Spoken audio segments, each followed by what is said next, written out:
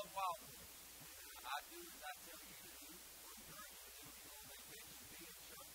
And be in church, and telling you, it's a good church. A good, a good fundamental church. And it wasn't Wildwood. And I'm sitting there thinking, God, for the service I'm in, I'm thanking God for the service my church back here. Amen. And we love Wildwood. Thank you for you do here. We love worshiping the Lord here. And I want you to know that I love preaching here. Uh, man, anytime I sit and listen to a guy preach, I begin to itch. But then to increase. And like, man, I'm in my pulpit right now preaching. And um, it's good. My soul is fed. And that's always good to get charged up and get myself to. Uh, but I want, I want to tell you this. I mean this with all my heart. Some of the best people to preach to. And I want to thank you. And I, I appreciate that about you. And I love you for that. And we're a good crowd here this morning. Amen. And I want y'all to just jump on board. And uh, God's word will speak to us, challenge us. And uh, we'll continue to work in our hearts on this. We appreciate you. We love you. First Samuel chapter 15, we come to the story, a pivotal time in Saul's life. Saul been given some opportunities before this passage, and uh, he has miserably failed. You know, you think that God's God of second chances and third and, and so on. And Saul here gets a another chance to kind of redeem himself, and what could have been a turning point for Saul. Uh, chapter 13 indicates for us, uh, chapter 13 14, he began and had begun going down a kind of a decline, a spiritual spiral downward, if you will. Uh, but yet he's given opportunity here to turn things around and uh, to conquer uh, the Amalekites and to utterly destroy them. But we find he disobeyed God. And that is so disappointing, but yet I believe it brings out so much for, for us to consider this morning. I want you to know this up front. Each of us can accomplish a lot in this life. Hey, we can accomplish a lot of good things in this life. But let me tell you, no matter what we accomplish, no matter how many good things we accomplish, if we accomplish those things and live in disobedience to God, we have failed. Doesn't, it doesn't matter what you have on your list, it doesn't matter how many names you have before your name, before or after, or how many descriptions or titles you have. If we fail to live in complete, that's our word this morning, complete obedience to God, we have failed.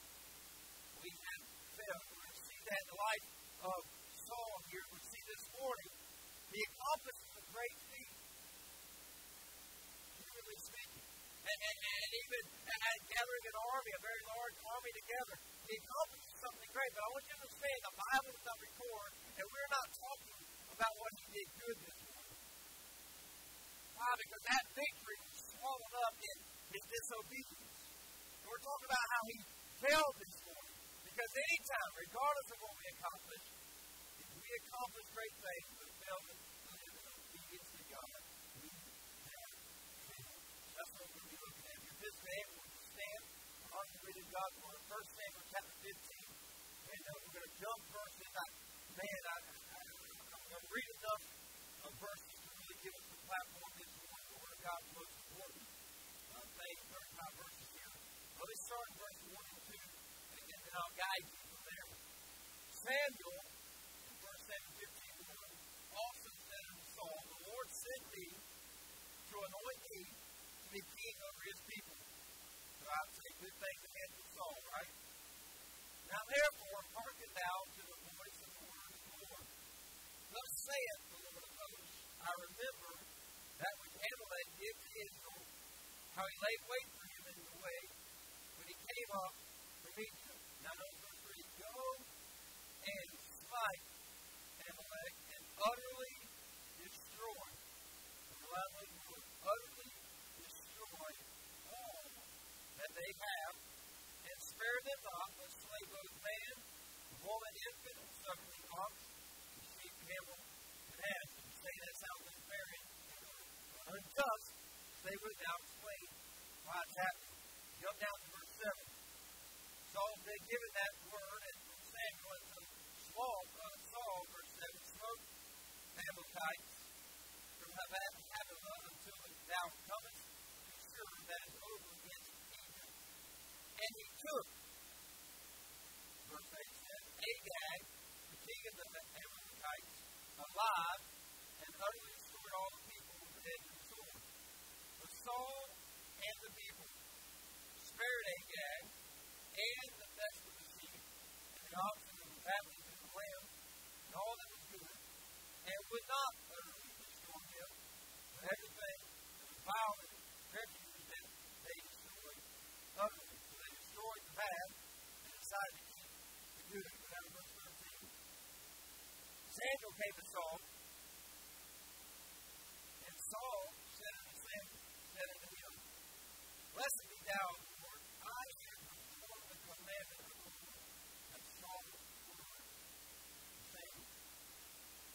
Samuel says, What meaneth then this bleating of the sheep in my ear, the lowing of an oxen in thy ear? Saul said, They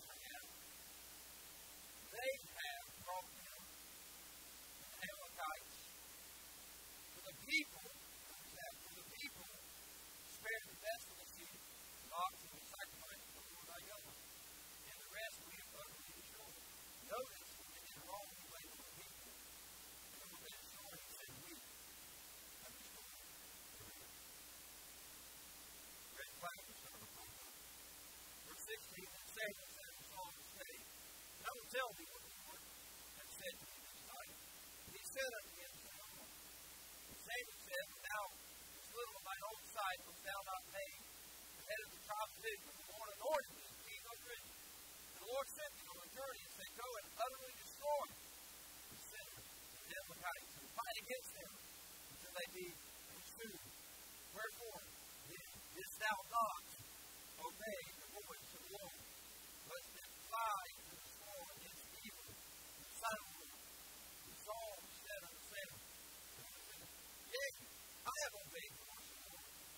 all the way with the Lord's city, and have brought Agag, the king of Amalek, and utterly, and have utterly destroyed the Amalekite.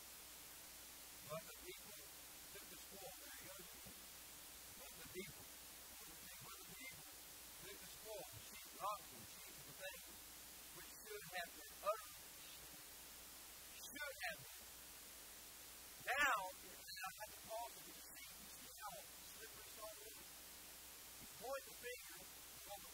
taking credit for what was right. And now he's shifting the side and saying, they should have been hurt. Acknowledging that it should have been hurt.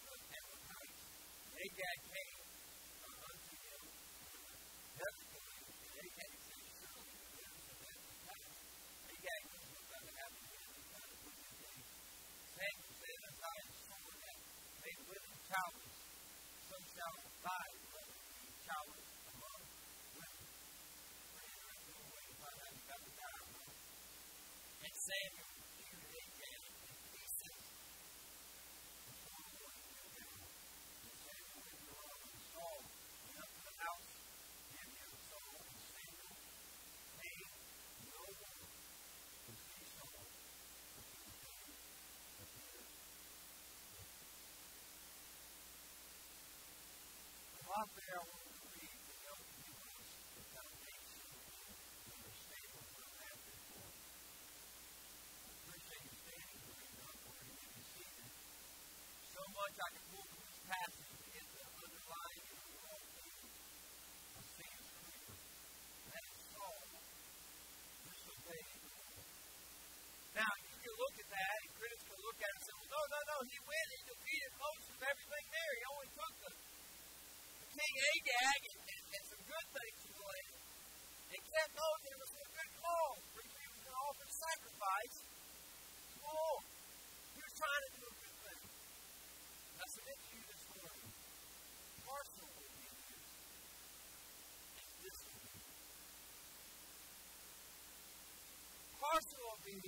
regardless of how awesome, how cool it seems, partial obedience is disobedience.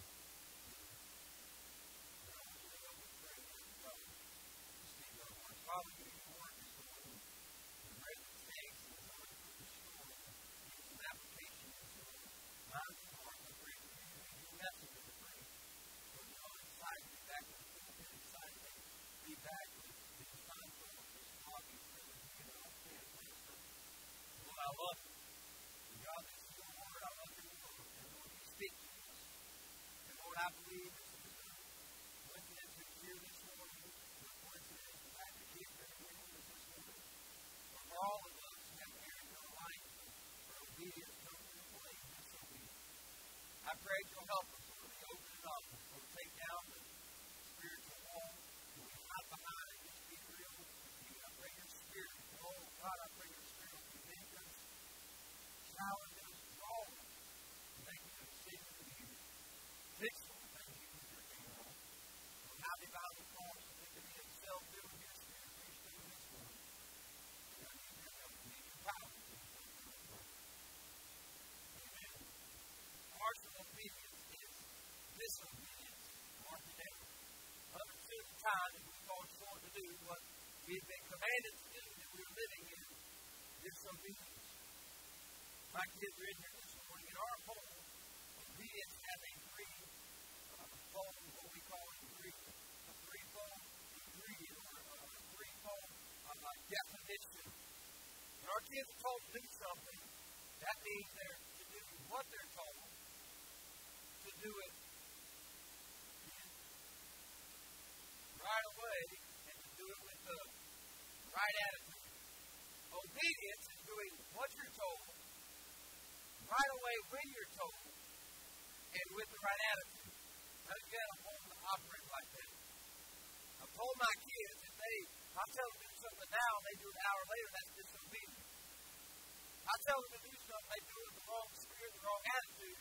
They may conform outwardly, but the spirit of obedience not in their heart. And therefore, they, if what they're told to do is not done in that threefold definition, it's disobedience. Do what you're told, when you're told, and do it with the right attitude. It's been said that disobedience is the mother of all sin. Get a hold of that. Disobedience is the mother of all sin. It's the sin that opens the door to so many other sins that begin affecting our lives. And I can unfold that, but listen, when you begin, when you become disobedient to the simple things God uh, commands us to do, and the way He commands us to live, I promise you, your life will be open to other sins that you fall to. Obedience really is a simple task, right? Do what we're told. Do what God tells us to do. If God says it, we're to do it. No discussion, no excuses, no options, no leeway. Amen? But if we live in disobedience, which many times Christians do, whether you want to admit it or not, that opens the sin of our lives for other sins. Disobedience to God is an indicator of the heart that is not completely right with God. We say some strong things this morning, that's one. But disobedience to God is an indicator of a heart that's not right with God. And, and there's spiritual proof for that right here in this passage.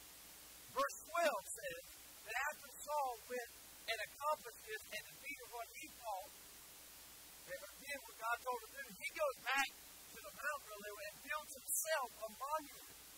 Let me tell you something. If you're doing a work for the Lord and you're building yourself monuments, your heart's in the wrong place. Your heart is out of tune with God. And so Saul, we see here from another verse later in Scripture, uh, where he indicates the same said, Oh, Samuel, he said, Don't do this me on behalf of the people. Change my consequence. He, he wants to look good in the eyes of the people. He wants to build a monument for himself, but his heart's not in it. When we live in a disobedience to God, your heart is not right with God. And you can argue till you're blue in the face, but God's word is God's word. And I don't care what excuse or what reason or, or what method you come up with, our lives, if lived in disobedience, our, our hearts are not right with God. The first point quickly. We see here, obviously, the first, the way the text opens up in command that's given in verse 1 and 2. Verse 3 is we'll see verse 1 and 2 coming up. Saul is given commandment here uh, of the Lord through Samuel to go and attack the Amalekites and to utterly destroy them and all they own. Okay? I think we all can agree here up front that the command uh, that Saul was given was unmistakable and it was. It was command. Meaning, God did not give Saul any leeway. God did not give Saul another option. And God did not leave things vacant. Reading the text in those verses that we did a few moments ago makes it very clear that God said, go in there, destroy every person. I, I heard some of you go when I read about the, the infants, destroy everybody and all the animals. Keep nothing. The word God to utterly destroy there means complete and absolute. It means to complete in totality. As we understand the mission that Saul was sent to do, it even carries the idea of devoting something to destruction. Utterly destroyed means everything that we're going after is going to be destroyed. The command was clear, and Saul clearly understood the command. It was not a, a, a, uh, a, a miscommunication. There was no confusion as to what needed to be done, and there was no other option given Saul. Right? So, right now, we would pause and say, Saul, you've got a clear command from God. He sent Samuel to anoint you as king. If I'm Saul, realizing, wow, God's given me one more chance. I've already, disobeyed him back in Gilgal, I got ahead of God, and I didn't wait on him there. God's given me a chance to rebound here. I'm going to do this thing right. But he doesn't get it right. It's important for us to understand here because in our humanity, let's be honest, we like to find other options. We like to find leeway. We like to find loopholes. We like to find the exception. How about this? We like to be the exception. Well, preacher, I would do all that if this wasn't present in my life. If this wasn't me, I, would obey the Lord in these areas. Well, so understand something quickly about the command. I don't want to think that uh, God being unjust here. The invasion on the Amalekites was, was not an injustice, but it was a divine punishment. Okay, God was doing what He said He was going to do. You see, they were, they were descendants of Amalek, obviously, was the grandson of Esau. And Esau was a picture of the world, and, and, and they uh, were constantly enemies to the Jewish people. They were enemies to God's people. And in Exodus chapter 17, we see that they attacked the children of Israel. You remember the very familiar story of the battle? Moses lifted up his arms, and his arms were up, they were lifting his arms were down, they were looking at Aaron and Hur, thank God for Aaron and Hur, came and lifted the hands of the man of God, and the children of Israel prevailed. Guess who that? They were. They had attacked the children of Israel. And then he said they attacked when they were very vulnerable, when they were very uh, young. After God had kind of wiped out the, the older generation, the young ones, they were the first ones to attack them uh, in the desert, so to speak. And so God says in Exodus chapter 17, verse 14 and through 16, that he would, he would destroy them. He says here, he says, the Lord said to Moses, write this for the in a book, and rehearse it in the ears of Joshua, for I will utterly uh, uh, put out the remembrance of Amalek from under heaven. And Moses blew an altar and called the name of Jehovah Nissi. We'll get to that in our Wednesday night study. For he said, because the Lord has sworn that the Lord will have war with Amalek from generation to generation. God committed right there, we read again in Deuteronomy, that He was going to completely wipe out the Amalekites. This is not an injustice, this was divine punishment. And yes, some 400 or 500 years may have passed by, but God is always a good on His word. Amen. And remember His covenant. Abraham and his people. I will bless them that bless you, and I will curse them that curse you. So God is doing what He said He would do here with His So we have the narrative of Samuel coming to Saul. Saul, verses of prior to where we jumped in at, or in between uh, the first three and verse 7. Uh, man, verse 4 to 6, is a pretty impressive army, a large army uh, together. It looks like he's going in for a pretty awesome invasion. It goes in it, and man, he really doesn't have trouble uh, because God had told him to do it, and so God was going to destroy the Amalekites, and when God being utterly or completely or, or with totality to destroy them, God's going to accomplish that. So instead of in there, he's successful uh, in his own eyes in doing and killing, but yet he and the people decide they're going to keep King Agag and they're going to keep some of the, the better animals for sacrifice. They destroyed what was bad and what they didn't think they had need of, but they in their own mind, in their own decision, decided they were going to step out of the land that God had given them, and they were going to keep Agag and keep some of the better animals in order to sacrifice. Can I tell you something? Keeping Agag and the better animals to sacrifice was sin. It was wrong. He said, well, they destroyed everything else because they went down on the bad guys. Then they took out the army. They could no longer attack the children of Israel. Partial obedience is disobedience. But yet it reminds me of something in our life. Christians struggle, struggle with Agag. There are things in our life that we like to hang on to. God says, get rid of it. We say, not so fast. God says, don't do it. We think otherwise. And so before we say, man, Saul, I can't believe you did that, let's ask ourselves the question Is there a King Agag in your life? Is there something that God has told you to do, prompted you to eradicate from your life, but you haven't dealt with it yet? Oh my God, I got rid of all this. We're going to hang it on.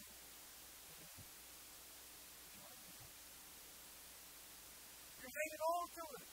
You're not completely obeying the Lord, and partial obedience is disobedience. But yet we feel like God, we feel like we're with God, but yet we're not completely living in obedience to Him, and therefore we're living in disobedience. Maybe it's someone God has shown you that's not healthy for your life, it's not a healthy relationship to be around, but yet you're not willing to give it up.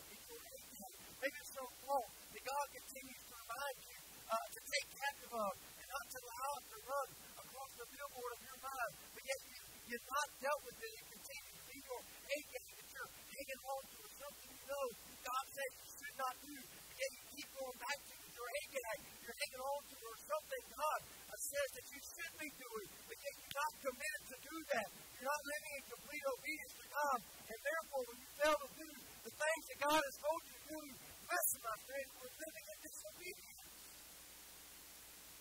We sit back, we amen, we sing, we think everything's okay.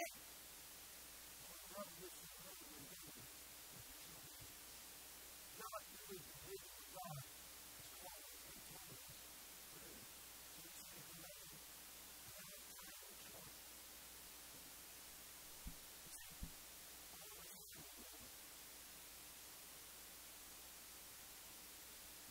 God didn't thank Saul. He didn't say that. He didn't say everything. He told him to go. It's not a choice. As we all have a choice, Saul tried to pretend that was from Samuel got word of this, but they said what was going on with God's son. By the way, God, God has word to you. Samuel won't follow the battle on, on Twitter or Facebook. You can see the video on Fox News. But God says unto him, something right.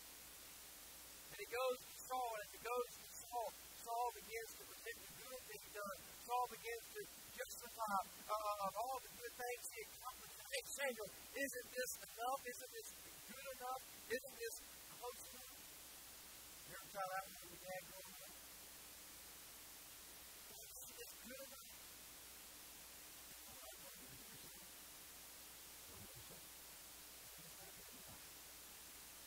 It's not being hard to please. You know what you're doing. Yes. You're meditating. Do it just like they tell you to do it. See there? The dad tells you to cut the grass, you decide to wash the car. Now your dad's car probably but these are pretty dirty. I say that because I want to put some on me. Like, like, I can fix my hair if I have it.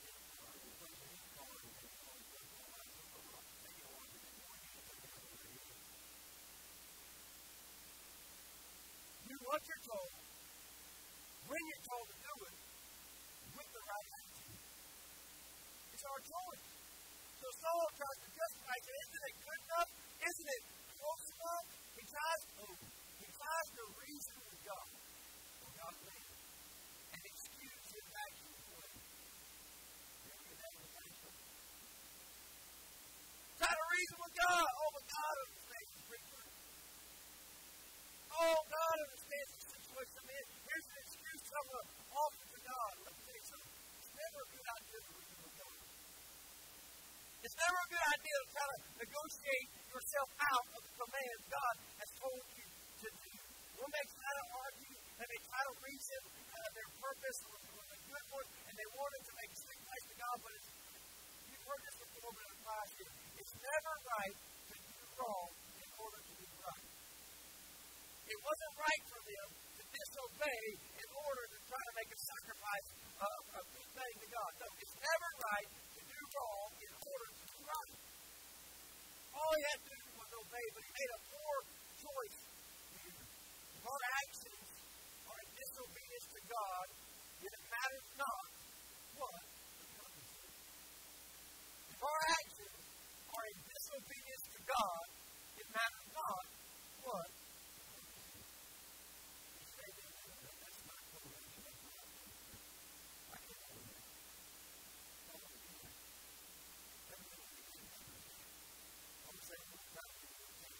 our actions are disobedience to God. That is not what your purpose is. But we live there, don't we?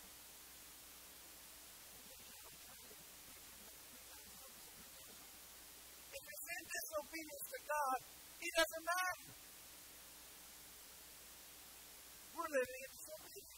Partial obedience is disobedience. That's what Saul said. I have performed the command of the Lord. You know what I told you? Disobedience is not like what people don't understand. What's the point of that? Stay with the plan of God. When we all need you here, we're in front of you. Up and down. And Saul was the same. He said,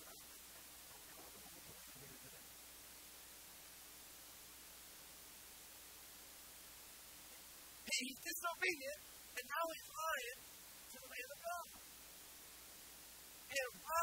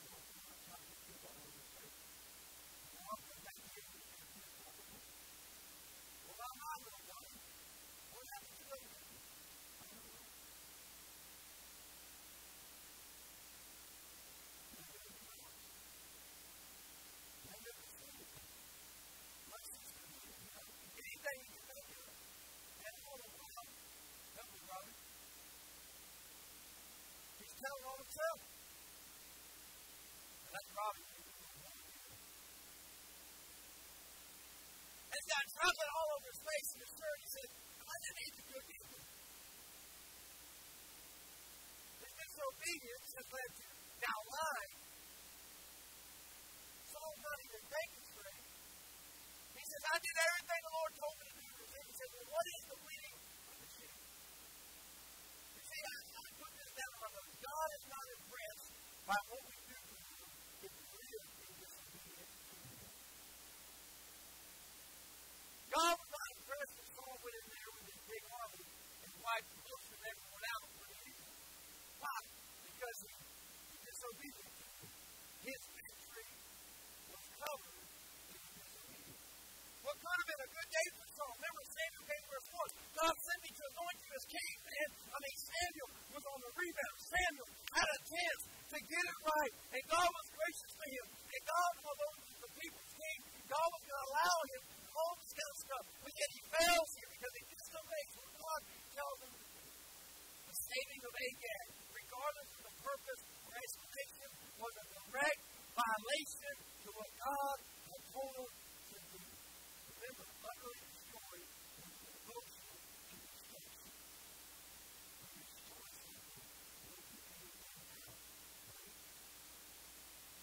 Mercy, obedience, Quit thinking you're really right with God. Quit thinking your heart's right with God. Have six seconds with Him. Quit acting like everything's okay. If you're living disobedient with God, has told you, how can you be right with God? God's not pleased or impressed with what you're doing right for Him if you're living in a disobedience to Him. God, of course, is saying what Saul did, what Saul was trying to do. He said, we say we live in obedience to God, but to be honest this morning, on a regular basis, we're not going to do civil law, but on a regular basis, we fail to do the simple things that God commands us to do. And I submit to you where God has spoken authoritatively, there can be no human resistance. That's also the reason where God has spoken authoritatively, there can be no human adjustment. If God says do it, that means do it. If God says don't do it, that means don't do it. No reasoning, no logic, no explaining your purpose. Do what God says. Make the right choice. For if you disobey in just a little matter, you have disobeyed God. John 14, 15. Jesus told his disciples, me, keep my commandments.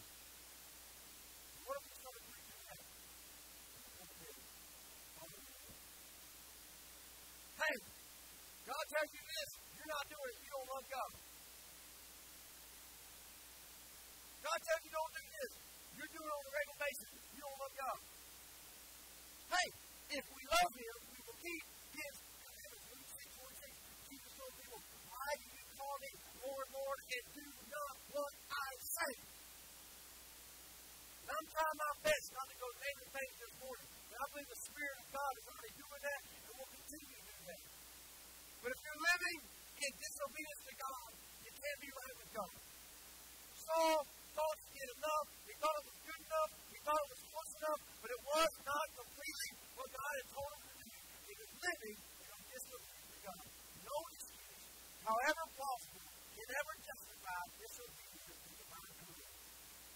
No excuse, however plausible, can ever justify complete obedience.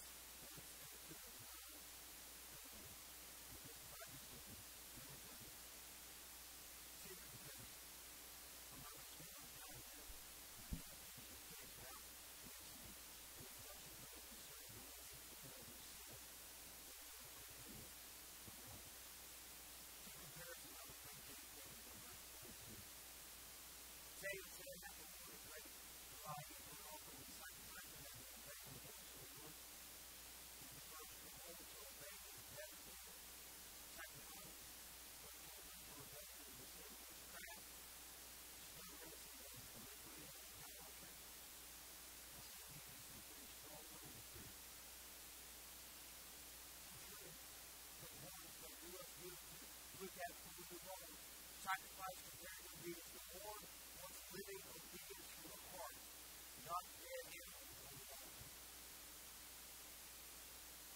The Lord wants from you wants living obedience from the heart, not getting Today for us it would be animal. Lord, I give my tithe. God bless you. Don't tithe. You do it. It's not my word, God. You can speak the word of God, but you can do it. You have a lifetime to do it. You're not tithing with it. God will not mind. Thank you, Lord.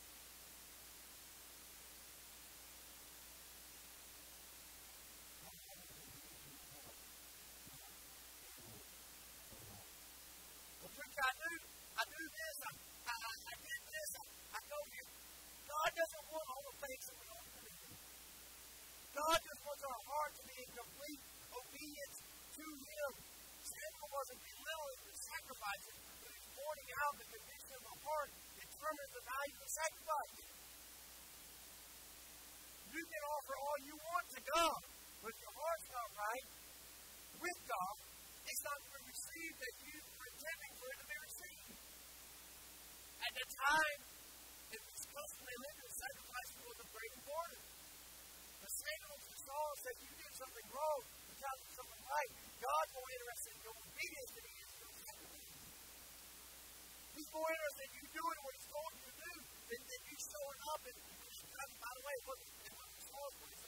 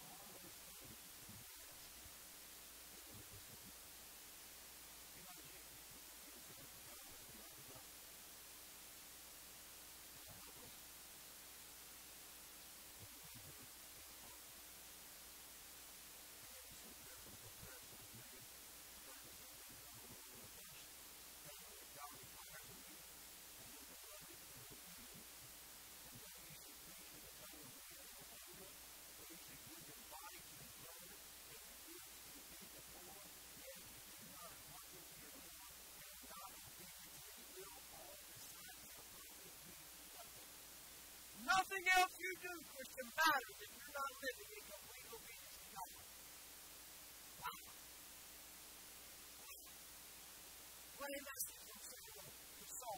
Then he said rebellion, but which there certainly could be a message of rebellion before that. One verse of Saul's rebellion, he now compares to witchcraft. For sake of time, I don't, I don't know how to go in to, uh, to that to explain that to you. When you rebel against God, God considers a very serious crime of sin. Compared to witchcraft, where they said to know God's will in this. The verse goes on to say, let me know that witchcraft is an extravagance, is an iniquity and idolatry. And the man said this, he said to know God's will and deliberately disobey it is to put ourselves above God and therefore become our own good. This is the vilest form of idolatry. Whoa. Church, we, we got to wake up. We got to realize the spiritual bubble we are living in needs to be. And if we're not living in complete obedience to God, the comparison that's made to our lives currently is not a good one.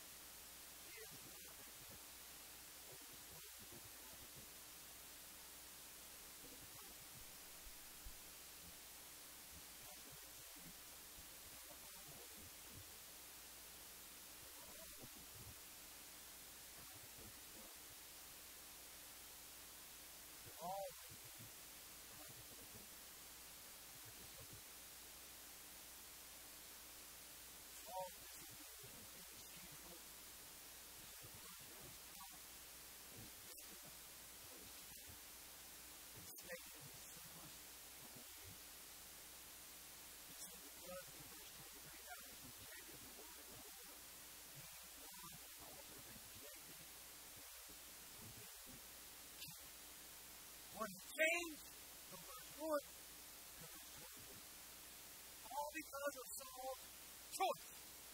His partial obedience was disobedient. And because he did not live in complete obedience to God, God says, You will not be the king. So I'll give it to somebody better than you. His name's not mentioned, but he's referring to David there. So you will not now be king because thou hast rejected the word of the Lord, because rejected me will be a simple statement. It will be huge. By the way, that's not the only thing he said. It wasn't the only consequence. He lost, he lost his character, he lost his companion, remember the Bible says Samuel came no more back to him until his death. There's no more God man born into his life, and of course he lost his crown, his companion, his character, and his crown. God took his spirit away from him, he allowed him to work out his own destruction and to ruin and to find himself in his own destiny. And all while that was going on, God finally began to prepare someone better for the throne of Israel. By the way, by the way, God will do that anyway. You want to do it your way? God will you. You say, well, I'm not going to do it your way because God got his final song. No, he, he let him, he let him finish the job like like he thought he was supposed to. And yet there was consequences. And if you'll live your life in a way and completely do what God commanded you to do, God can remove his hand of blessing from your life. God can take blessings that He has in store for you, such as the Saul. He can take those things and remove them from your life.